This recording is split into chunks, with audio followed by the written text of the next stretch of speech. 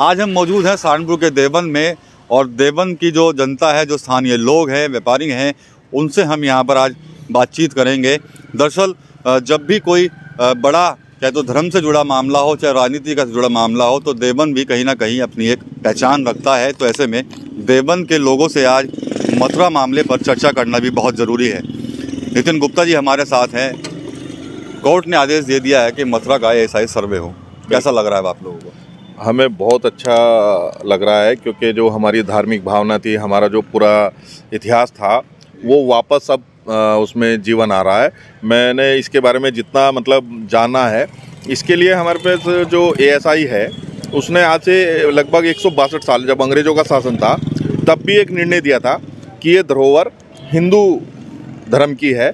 और आज भी मैं आपको बता दूँ कि देर से सही लेकिन हमारी विजय हुई है और ये हमारे लिए बहुत बड़ा अचीवमेंट है। जैसे वो था ना काशी और अयोध्या के बाद मथुरा की बारी है।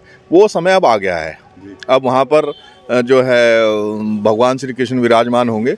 उनकी वो जन्म स्थली है और बहुत ही अच्छा निर्णय इस सरकार के शासनकाल में कोर्ट ने दिया है।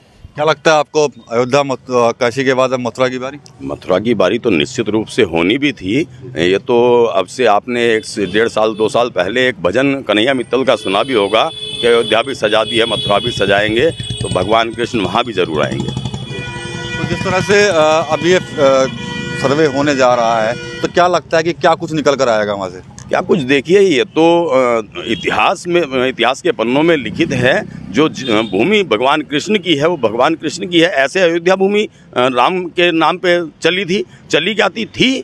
तो इसीलिए राम, भगवान राम को मिली आज, भव्य मंदिर वहाँ पूर्ण हो चुका है, और 22 जनवरी को उसका उद्घाटन भी होना है तो ऐसे ही भगवान कृष्ण की जन्मभूमि पे भगवान कृष्ण का भव्य मंदिर बनने बहुत जल्दी जा रहा है।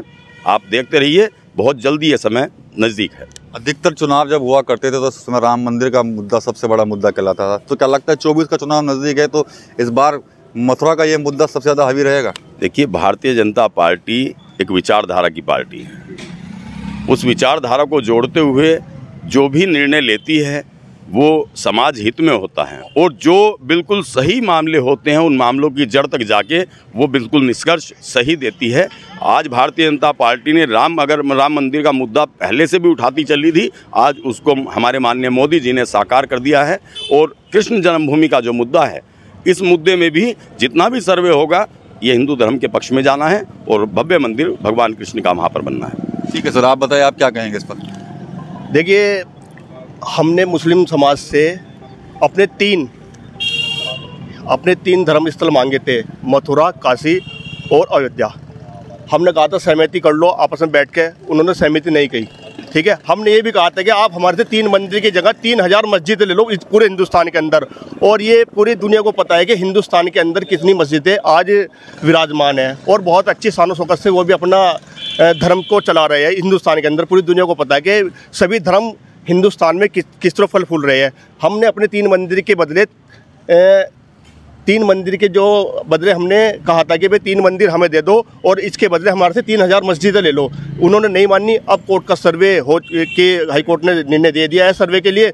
हम देखते हैं विजय अवश्य सच्चाई की होगी और जीत हमारी होगी और इस बात को हम नरेंद्र मोदी जी और योगी जी के नेतृत्व में हम आगे बढ़ रहे हैं और इसमें निश्चित हम जीत हासिल करेंगे। अच्छा कुछ लोगों का ये भी कहना है कि सिर्फ़ देश में मंदिर और मस्जिद ही मुद्दे नहीं होने चाहिए मुद्दे काफ़ी और भी हैं। देखो ये तो सबको पता है कि देश में मंदिर और मस्जिद कोई मुद्दा नहीं होना चाहिए। क्योंकि इस देश को आज देश चंद्रयान थ्री देश हमारा चाँद पे चला गया है। मंदिर मस्जिद का कोई मुद्दा नहीं मुद्दा तो साम, विपक्ष बनाता है।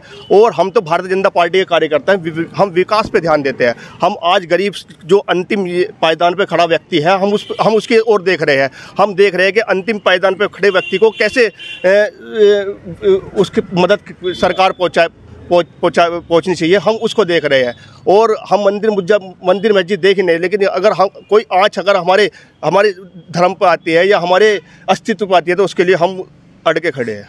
क्या उम्मीद करते हैं कि कब तक इस पर पूरा काम हो जाएगा और कब फिर आप लोगों को मंदिर मिल जाएगा? देखिए तो ये, ये तो सब कोर्ट का निर्णय है। हम कोर्ट के फैसले से बिल्कुल भी विपरीत नहीं जाएँगे। कोर्ट जैसा निर्णय देगा हम कोर्ट के साथ हैं। और जैसे जो भी कोर्ट निर्णय देगा हम उसका स्वागत करेंगे। ठीक है। आप ये बताइए कि कुछ लोगों का ये कहना है कि मुद्दा जो है देश के अंदर वो हिंदू मुस्लिम नहीं होना चाहिए मंदिर मस्जिद नहीं होना चाहिए। विकास की बात हो शिक्षा की बात हो रोज़गार की बात हो स्वास्थ्य की बात हो। देखिए भारतीय जनता पार्टी कभी भी हिंदू मुस्लिम या जातिगत मुद्दा मुद्दा नहीं लेकर चलती है। हमारी भारतीय जनता पार्टी जो है केवल विकास की बात करती है। सबका साथ सबका विकास और सबका विश्वास के साथ काम करती है।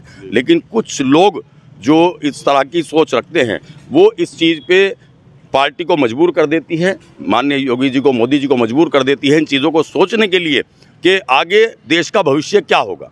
देश के भविष्य को अगर सुचारू रूप से सही चलाना है तो इन चीज़ों को देखना भी पड़ेगा। इसलिए मैं तो नहीं समझता कि इस चीज़ को बिल्कुल नकार दें। ये पहले है धर्म पहले है उसके बाद सब चीज़ें ठीक है। आप बताइए अयोध्या और काशी के बाद क्या मथुरा में मिलने जा रही है? उम्मीद तो है बाकी टाइम बताएगा। क्या कुछ उम्मीद है? कि मथुरा वो हम हमारी होगी। पहले किसकी थी मथुरा? पहले भी आप ही नहीं अब अब पूरी तरह हमारे होने जा रही है। अच्छा। आप बताइए पहले तो मथुरा आप ही की थी?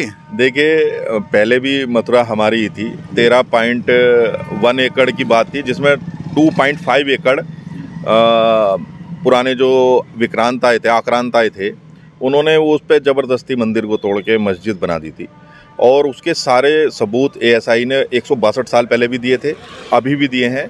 क्योंकि अगर आप उसका देखेंगे, उस मस्जिद को तो उसमें फूल, कमल का फूल बना हुआ है। चारों तरफ़ कमल का फूल है, उसके ऊपर गुंबद निकले हुए हैं।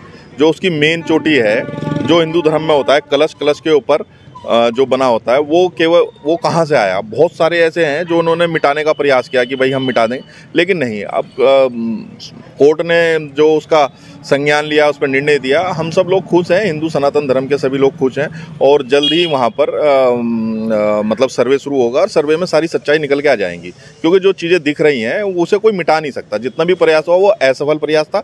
अब हिंदू जाग उठाया और इस पर पूरा सब लोग इकट्ठा होकर के जो उन्होंने मन में ठानी थी कि वहाँ पे वापस वो कृष्ण लीला जन्मभूमि को जगह मिलेगी। आप मथुरा वृंदावन कितनी बार जा चुके हैं? मैं अनेक बार जा चुका हूँ। मैं गिनती तो आपको बता नहीं सकता। अभी हाल ही में पिछले दो महीने पहले भी गया था। जब आप वहाँ जाते थे तो उस जगह को देख क्या कुछ मन में आता था?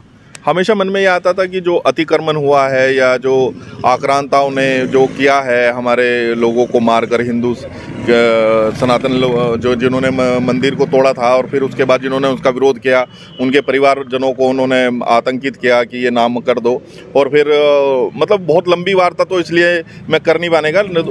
में एक समझौता हुआ था अब वो समझौता मेन पार्टी जो है हिंदू, जिनके पास वो मंदिर है अभी तीन भाइयों के पास, उन्हें छोड़कर बाकी लोगों ने कर लिया। तो वो डिस्प्यूटेड सरकार ने उस समय की जो सरकार थी, उन्नीस सौ उन्नीस सौ में, उन्होंने जो है हिंदू धर्म को साइड में करके एक विशेष वर्ग को खुश करने के लिए ऐसा निर्णय कर दिया, जो कि जिसके कारण वो डिस्प्यूटेड हो गई। और जल्दी हमें लगता है कि वो सब चीज़ें ठीक होंगी, और मथुरा भी जल्दी काशी और अयोध्या की तरह हमारा होगा। तो ये देवबंद के स्थानीय लोग हैं और साफ़ तौर पर इन सब की एक ही राय यही है कि जो फैसला आया है ऐसा एक सर्वे का, वो काफ़ी सराहनीय है और साथ साथ ये लोग कह रहे हैं कि बस अब हमें सिर्फ़ जल्द ही ये उम्मीद है कि अयोध्या और काशी के बाद अब मथुरा भी हम सबको जल्द मिल जाए। टीवी नाइन यूपी के लिए देवबंद से विकास कपिल।